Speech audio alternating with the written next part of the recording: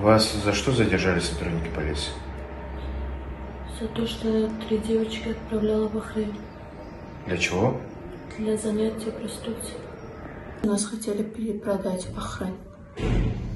А, в качестве кого? М? В качестве кого вас хотели перепродать? В качестве проституции. Вы давно этим занимаетесь? Нет. Я третий раз, третий раз летела сейчас. Вы с девушками как познакомились? Мы познакомились в отеле Лакшери. Я была заочно с ней знакома, нас обменяли номерами из-за того, что я работала на менеджера 50 на 50, я хотела уйти на себя. И она мне сказала, что сделает билет. И что когда мы полетим в Бахрейн, что я отработаю за билет, отдам ей, и каждую неделю буду спонсорские отдавать 100 динар. Собиралась вылететь в Бахрейн. А с какой целью вы туда собирались вылететь? Я должна была там побыть недели две-полтора, и э, э, мне сказали маникюр, педикюр, наращивание волос.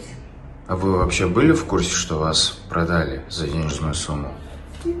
То, что вы собирались оказывать услуги интимного характера, вам тоже не говорили?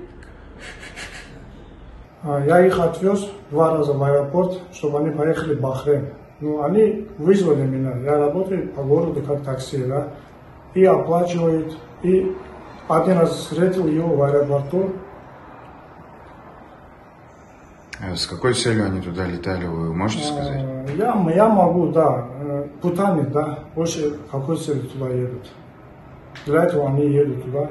Вы знакомы с этими девушками? Одной да. При каких обстоятельствах с ней были знакомы? Она моя бывшая соседка. Сетка, вы работали кем? Проститутка.